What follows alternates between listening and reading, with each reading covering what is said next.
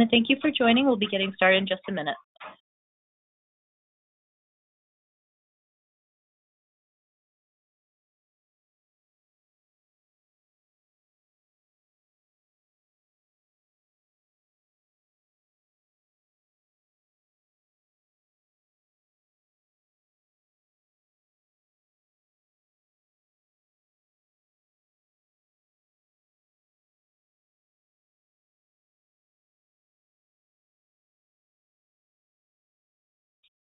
Thank you all for joining us. We're going to wait just one more minute to see if we have time to let a few more people in.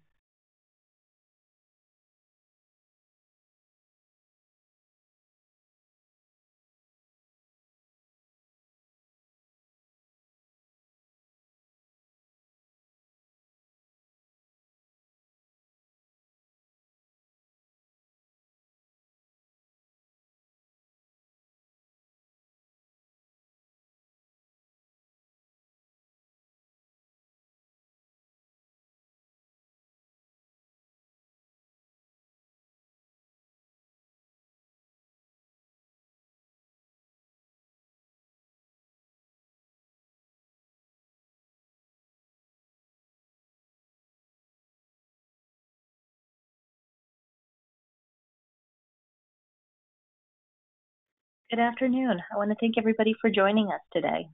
Before we get into the presentation, I just wanted to go over a couple of housekeeping issues. We will be recording the presentation today, so if you're not able to stay through the whole thing, if you've got connection issues, or if you want to share the presentation with somebody else afterwards, you'll get a link and an email right directly to the presentation so you can watch it later. You'll also get a copy of the slides, so if there's a reference in there that you want to go back and take a look at, you're able to do that. We will go straight through the presentation, but if you have questions, you can send them in to us using the question window. That's um, part of the GoToWebinar pop-up that you have there. Just click on, probably looks like a question mark, type in your questions and send it to everybody. I don't know if we'll have time to do questions at the end, but we will capture those and we will get back to you with any questions and answers that you need later. So why don't I get started? It looks like we've got a good number of top seven predictions for dentistry and marketing by 2020. This is a piece that we've put together where we really wanted to look forward and understand what's coming down the pipeline and what do you guys need to do to prepare your practice for it. We're going to be covering seven different trends, talks all about changes in um, economic situation and how that's going to impact you, all the way to automation and technology and what you need to be aware of in order to cover yourself there. So, the first trend, how about the weak middle class? We're finding that the middle class has been shrinking from 62% to 43% in the past four decades, and it's continuing to shrink. When somebody leaves the middle class, they're generally going down the economic ladder. When we start to look at how this affects things, there's a lot of people who are choosing not to get medical attention. They're not using their regular checkups. They're not doing those things because of the cost, because they actually have to shoulder that burden now. So, unless it's a true emergency, people aren't going to the doctor.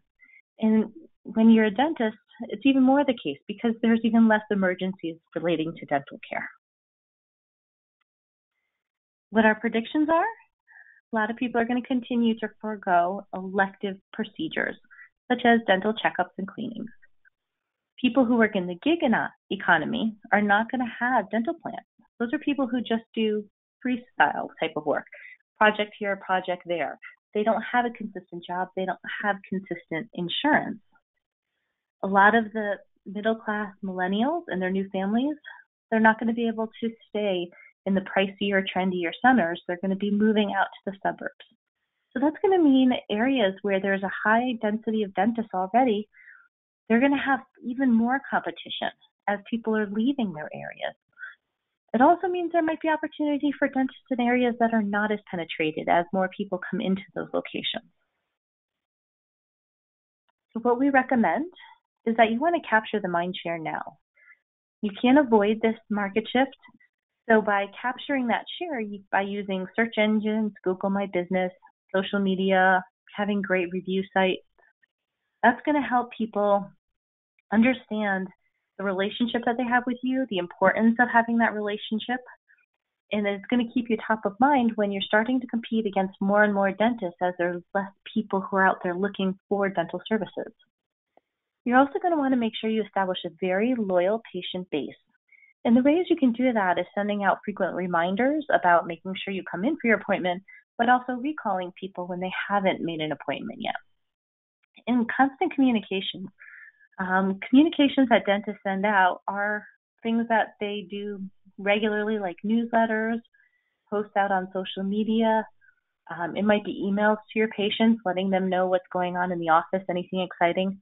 All of those different pieces that are going to help the patients feel connected to you, that are going to make them feel like you're a trusted friend, those are going to be what you want to continue to do because then when they have to decide what they're going to give up, if they have a relationship with you, they're less likely to give you up. The next trend is that there's a lowered trust of facts that's going to require building a trustworthy persona. So, what does that really mean? What we see now is fake news is everywhere. 64% of people believe fake news is sowing confusion. Probably not a surprise, it's all in the headlines lately. 23% of people have actually shared up a made up news story, sometimes accidentally, sometimes deliberately. And it's so pervasive that people are ceasing to believe experts and instead are seeking out a version of the truth that conforms to their opinions. For example, vaccines are safe or vaccines are not safe. People are going to find the news article that's going to support what it is that they're thinking. An example, another example that's more relevant is flossing. You know, there's articles that flossing is not necessary. There's articles that it is necessary. People choose what news they want to consume. So, what can we predict? Well, trust is going to decrease for dentists. They're not going to be looking at you and trusting you just because you have a dental degree. If they trust you, it's because you've given them positive experiences. It's because they look at what you've told them you can prove what you're doing. And using visual aids and things like that's going to help. So if you say you have a certain treatment plan, showing them how it's actually going to work is actually going to build that trust. The other ways you can help prepare your practice is to use online review sites. That's another way to establish that credibility. You want to ask the patients that come in if they are happy with your service to go out and review you somewhere. Put a review out on Google or Yelp or Facebook. Those are the most popular ones where people are getting reviews. You want to make sure you establish your credibility by having articles, blog posts, social media, things that show that you care and that you actually understand and you want to help them. And as I already mentioned, provide evidence to support those treatment plans. Before and after photos are great. Um, videos you could even put up. Use equipment that's going to showcase to people what it is that they're going to get when they work with you. So you want to become trustworthy. And you want to do it because you're presenting yourself, not just because you are a doctor. People aren't going to believe you just because you're a doctor anymore. The third trend is digital content consumption is really going to be led by video. So this probably isn't a surprise to anybody. Because people are always connected, they're always consuming digital content. Young people, old people, moment in line when they're waiting, during commute, right before bed. It's easy to make content. So there's an opportunity for you guys to work on educational videos to help you make you stand out from the crowd you know, some amazing statistics here. There's 500 million views and 1 million shares of learning related content on YouTube. It's probably a lot more than you expected. And content consumption is up from 2016. People are consuming content for over 10 hours a day. It's an amazing amount of time spent consuming content. So the predictions for the future. More content is going to be produced than ever before. People are going to continue to have that access throughout the day, especially for video. We're going to start to see it spread out between different platforms. So right now you might think of YouTube as the first place for video, but they're getting a lot of competition from videos shared directly through Facebook or a lot of these other platforms that are popping out. So by 2020, we're going to see content more evenly distributed across multiple channels. You're also going to see as more people have access to fast streaming data plans, people are going to use and watch videos a lot more often because they'll be able to get them on their phone without having to worry about all those data overages. So, what does that mean for you and your practice? Well, you should consider creating high quality content in an educational video channel on YouTube. There's lots of tools that you can use, like iMovie or Camtasia. There's YouTube editing tools or Adobe Spark, which includes um, simple or lets you make simple videos and include some stock ready video. Excuse me. When you're doing that, um, you can do topics like how parents can get their kids to brush their teeth, or five steps before bedtime for clean baby teeth. Lots of different topics that you can do that are going to really help support your practice. And the other thing you want to do is create content calendars to help keep your ideas and thoughts organized. So think ahead, you know, plan out a few months at a time what content you can you create around holidays, life events, local going on. You can also just do those practical tips, uh, practical tips on safety, hygiene, whiter teeth, things like that.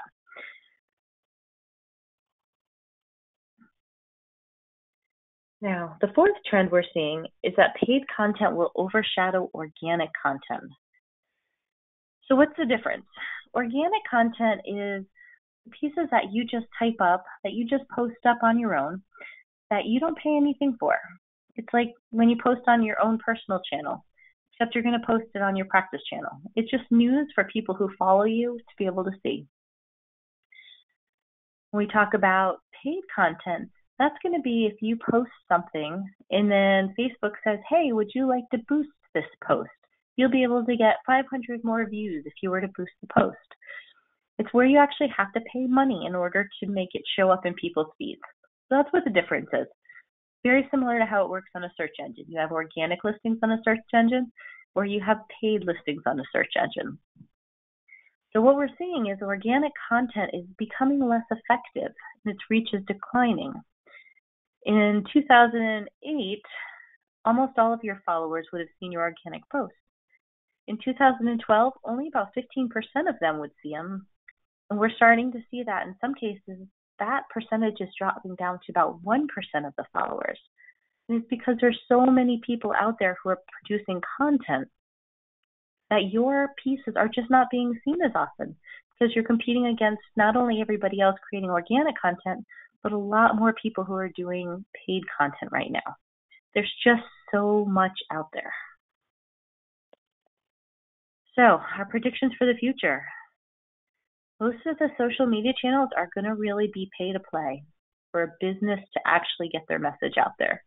There's just not going to be a whole lot of people seeing your content organically unless they're really going right into your own page. It'll still be out there, but it's just not going to be shown very often. A lot of things that you will see are native advertisements. These are ads that look like regular content, um, and then boosted posts where people even right now, if you actually posted up something in Facebook, you can boost a post, pay a little bit of money, and it's going to be seen. So we expect that's going to be much more predominant. So, what are our recommendations? Start to learn how this works now. Create some negative, uh, native ads with hyper targeted audience. So you can target people in certain income brackets, careers, age groups, geolocations, Facebook gives you a lot of opportunity to really target who it is that you want to actually advertise to. You want to test different ads, understand what works for people. You know, maybe you're better off talking about procedures that you've had and showing those before and after pictures. Or maybe your audience responds better to a special offer that you post up every once in a while. So test different things. Understand what it is that they're going to like. So as you have to rely on it more, you've really nailed down what's working so you don't spend money on things that don't. But at the same time, continue to post up organic content. because there are people who are going to get there. And especially if somebody's going to go do research on you. For example, if I decided I wanted to go look for a dentist and I opened up all of those local dentist office Facebook pages, what I'm going to see when I look at your individual page is all that organic content that's going to tell me who you are, what you're sharing. So don't ignore any of the organic content. Don't think that's going away. But for connecting with people, the paid is also going to be so much more important than it is today.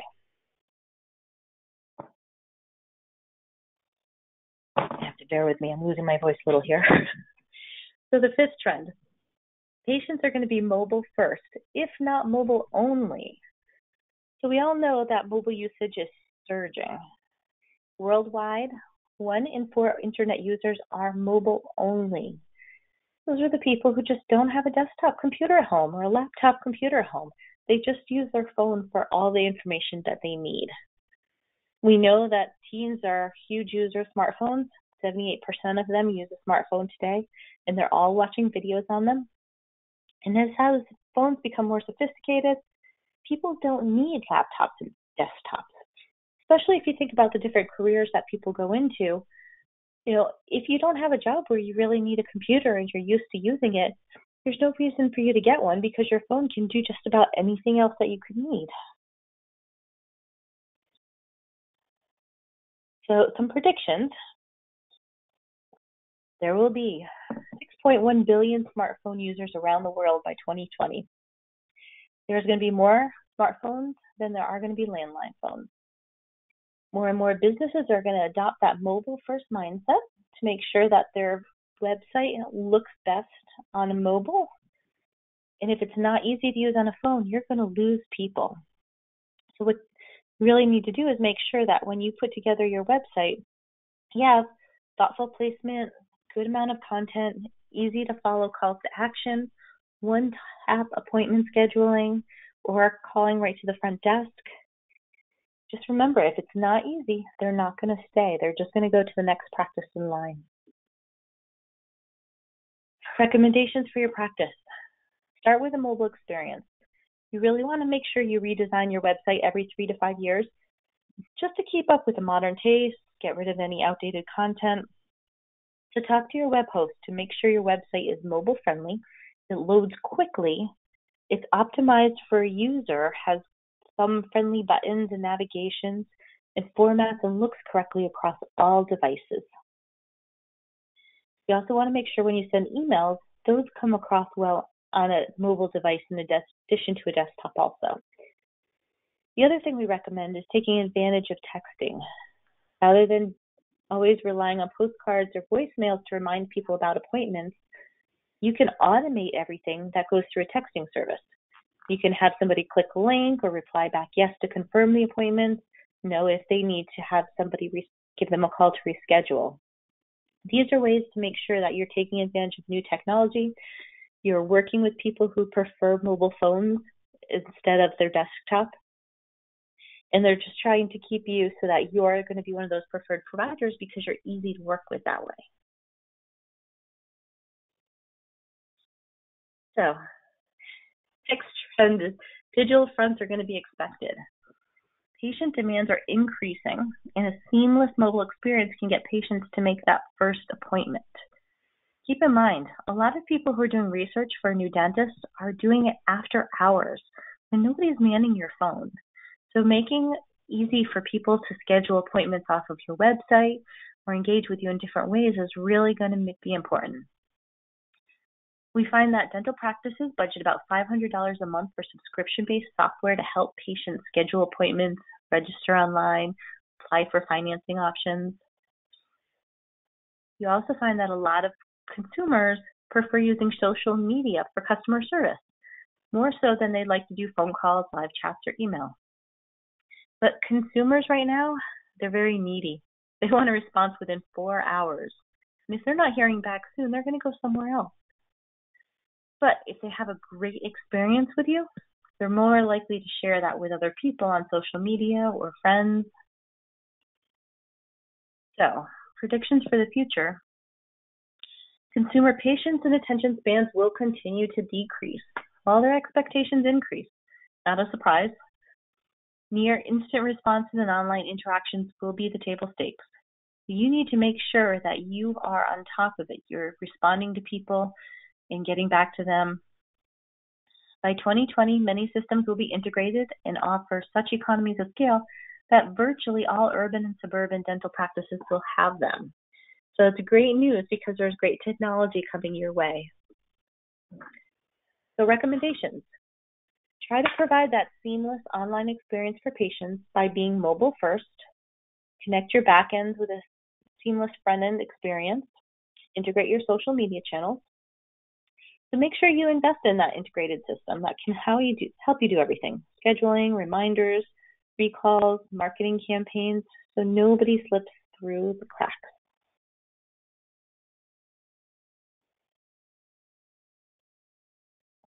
So finally, the seventh trend, automation and artificial intelligence will be required to compete.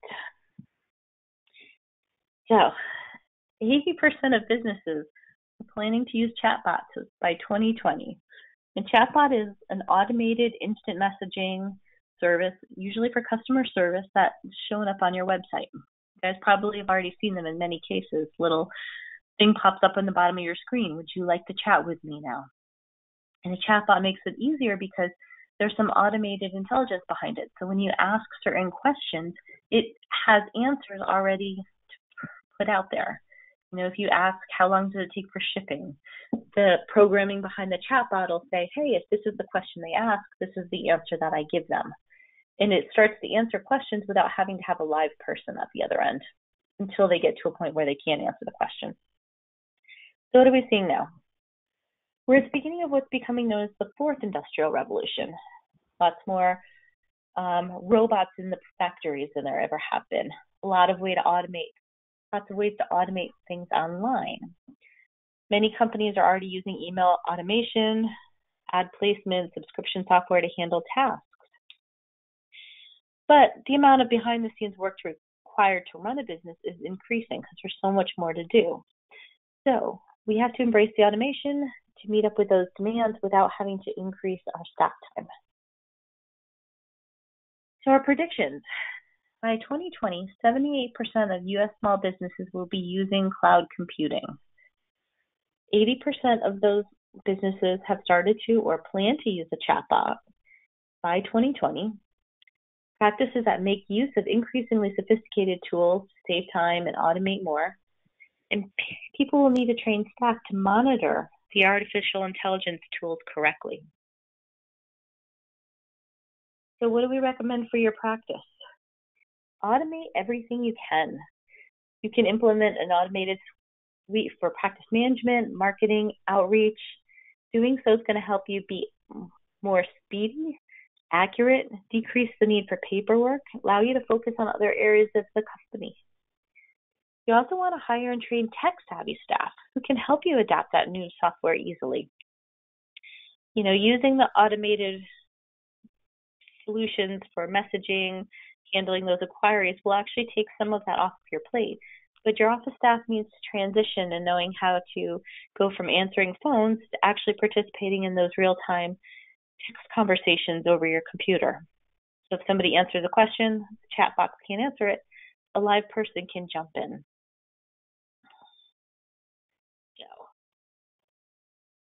Tying it all together, we're only talking a couple years in the future. We're not talking out 10 years. So these things are coming. It's going to be fast. It's going to be here soon. And many of these things you can get started with today. So keep in mind, people are consuming more content. There's more content being produced every single day. So you need to stay competitive. You need to stand out using educational articles, starting to create videos of your own, posting up on YouTube, sharing them out via your social media channels or on your website. Those are the things that's going to help you stand out. Want to look at artificial intelligence to see if there's anything that you can take advantage of, such as chatbots, backend scheduling, marketing systems that are going to help you realize that cost savings, automating your recall and reminder phone calls, you also want to try to make sure your patient experience is seamless.